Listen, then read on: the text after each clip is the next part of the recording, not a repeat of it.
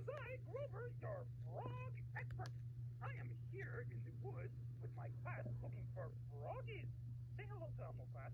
Hello, Elmo! Elmo, did you know that some froggies live in the woods? Mm-hmm. It is a true. See, right here. That is a froggy. No, it isn't. That's a rock. Rocks aren't alive. Frogs are. They eat and breathe. That is what I was going to say. Oh, now here, here is a froggy. That's not a frog. It's a butterfly. Butterflies have wings to fly. Frogs don't have wings to fly.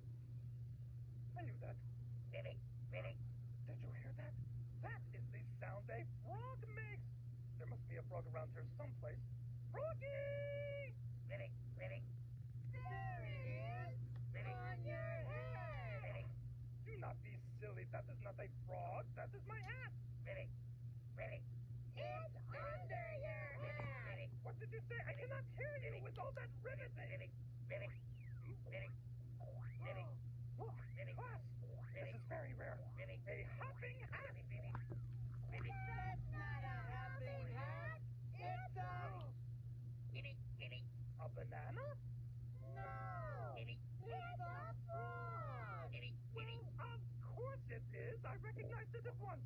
I am a froggy expert, you know. And there you have it, Elmo. A frog. Billy. Um, keep it under your hat. Billy, Billy.